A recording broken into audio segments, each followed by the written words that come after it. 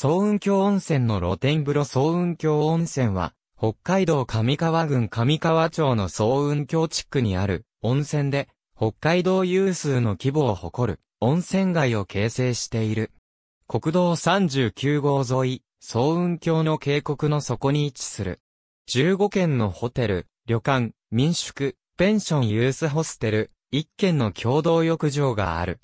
温泉街の中心部は、カナダの山岳リゾートを模したキャニオンモールとして整備され、他の一般的な温泉街とは異なり欧米風な雰囲気を醸し出している。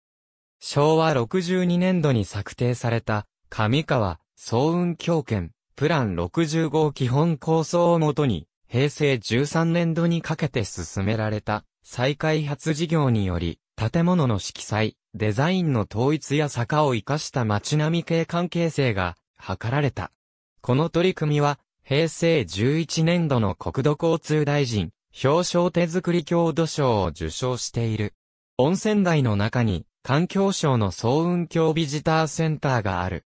近くには大雪山黒岳スキー場や大雪山総運橋、黒岳ロープウェイ、キャンプ場があり、大雪山系への登山基地ともなっている。大雪高原牛や、ニジマス、山菜などを使った料理が名物となっている飲食店もある。毎年冬には、総運橋氷瀑祭りが開催され、多くの観光客で賑わっている。台湾などのアジアからの観光客も訪れる。総雲峡のコンビニエンスストア温泉街には2軒のコンビニエンスストアがあるが、どちらの店舗も目立つ電光看板を廃し、外観を茶色で統一するなど景観への配慮がなされている。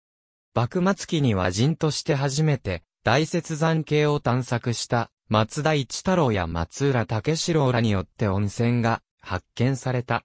1900年には塩、谷水二郎が温泉を発見して、塩屋温泉と名付けられた。1913年には、国沢木右衛門が温泉を発見し、国沢温泉と名付けられた。数軒の温泉宿が営業し、明治、大正期の歌人、大町慶月が大正年間に訪れている。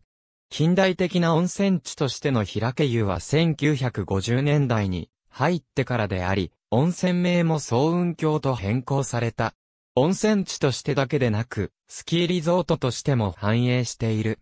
総雲峡観光ビル、道北バスが運行。温泉街入り口に位置する、総雲峡観光ビル1階に、総雲峡出張所を設置。窓口と待合所を備え、案内や予約発見を受け付ける。上記のほか、周辺観光向けに柿の右に泉台、大雪湖方面へ運行。ありがとうございます。